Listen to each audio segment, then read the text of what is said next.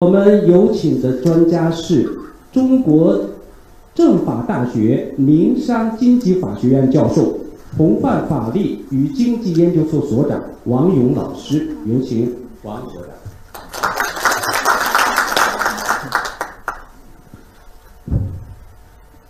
好，尊敬的各位领导啊，尊敬的各位同仁，大家下午好。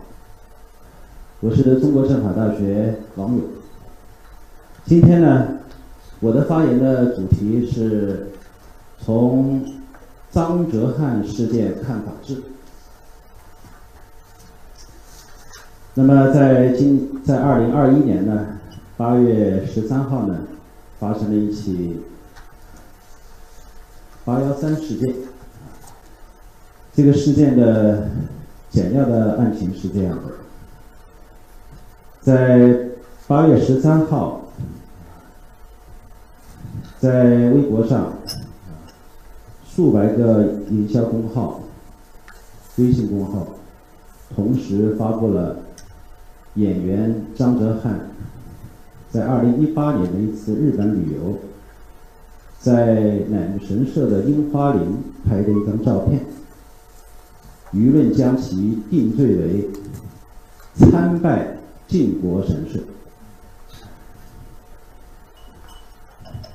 在去年十二月份之前，我都不知道张哲瀚这个人，我也从来没有看过张哲瀚演的电视剧，我现在都说不出张哲瀚演了哪一部电视剧。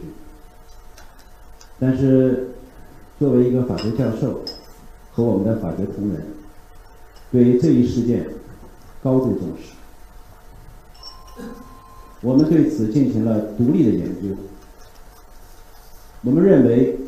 这个事件是网络时代一起严重的破坏法治的事件，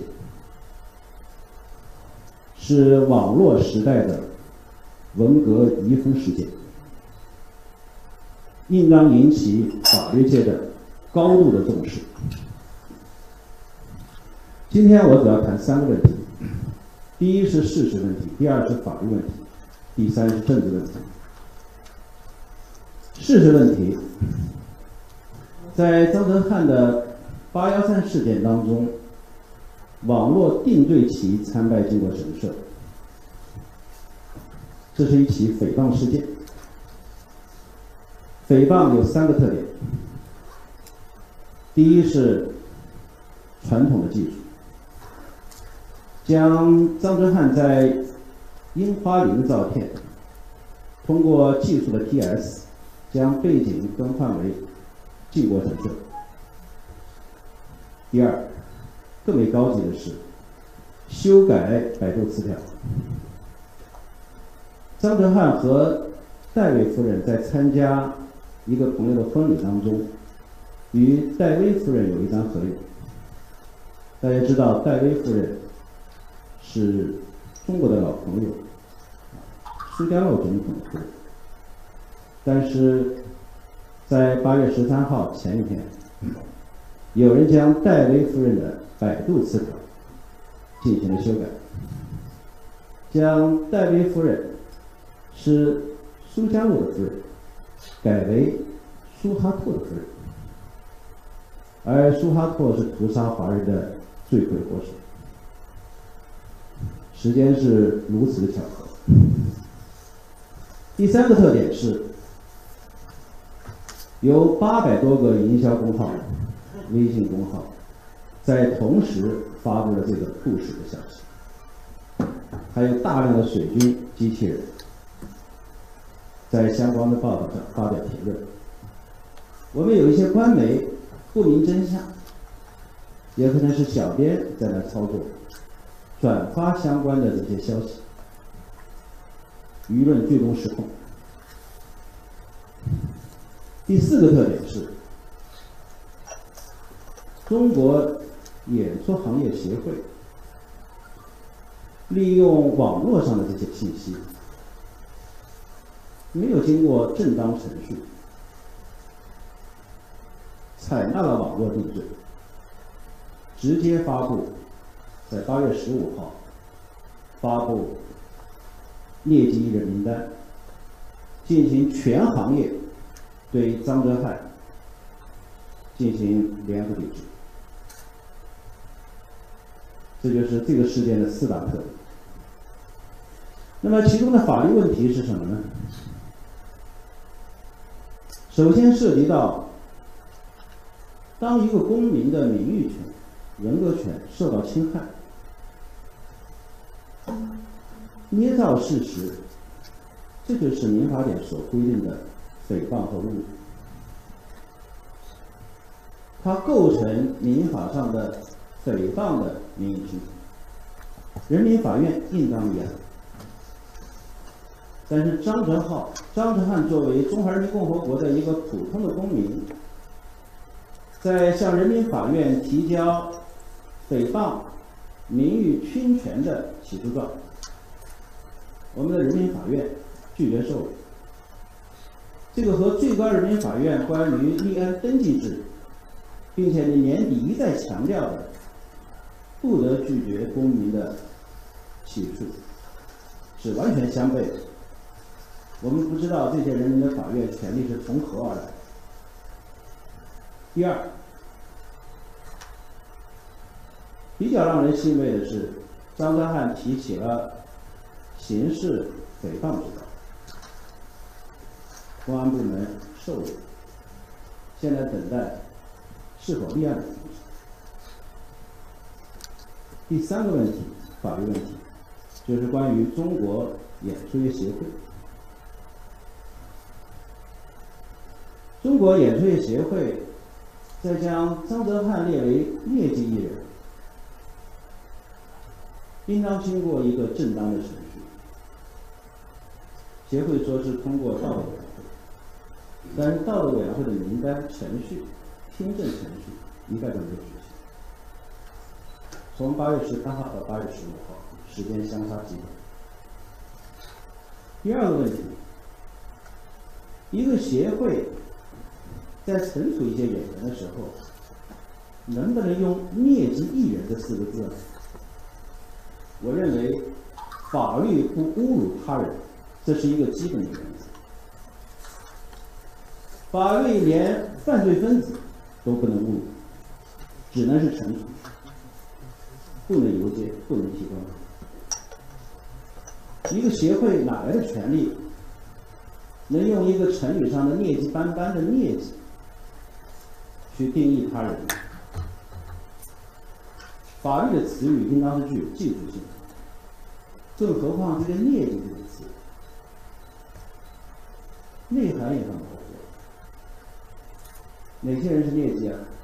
违法失德的都是劣迹。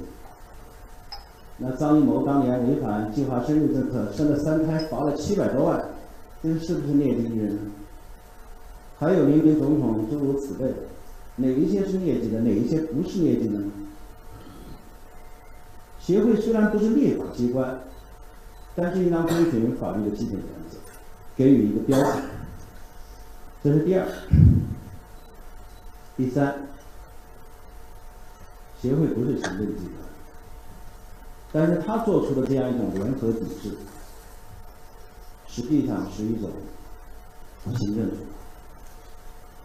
是行政处罚当中的行业禁令，是对宪法上所规定的公民的劳动权的一种剥夺，但是在程序上没有任何保障。第四个问题是涉及反垄断法，反垄断法第十三条的第五款明确规定了。联合抵制交易是一种垄断协议，在协会的组织下所发布的这样一种名单，并且号召联合抵制，完全构成了反垄断法的第十三条第五。作为一个协会，对于现在中央高度重视的反垄断法，难道没有一定的政治意义？第三个问题是关于政治问题，这里呢，我提三个观点。第一是，我们要警惕网络时代的文革遗风。我们这个时代在技术上有一个非常大的特点，就是网络、人工智能、资本。资本控制平台，资本具有优势，资本具有垄断地位，资本拥有算法。在这种情况下，正如刚才张建伟老师所说的。新闻到底在哪里？真相到底在哪里？很可能我们每个人都会关在一个小黑屋里，而真正的事实、真相、新闻是被那些技术所操作。刚才我所讲到的张德汉事件的八幺三，就完全展现了这样一种技术特点。这是我们要警惕的第一点，警惕网络时代的文革。这些技术，他们会完全不顾法治，侵犯公公民的基本权利，并且用技术来打击竞争对手。第二点是，我们一定要警惕虚假的民族主义。我们中国。中国人民都是爱自己的国家，都有一腔热血，这就是我们的珍贵的民族主义和爱国主义。但是，民族主义和爱国主义也有真假之分。有一些人现在利用民族主义，为了打击竞争对手、打击他人，利用。民族主义来制造舆论恐怖，来迫害中国人自己。中国人迫害中国人自己，这本质上就是一种反民族主义、反爱国主义。所以我们一定要警惕。第三点，在今天这个时代。我们一定要坚持法治原则，法治是最大的政治。党中央在二零一四年就发布了关于依法治国的决议，法治是中央高度重视的一个原则，法治关切着每一个公民的基本权利，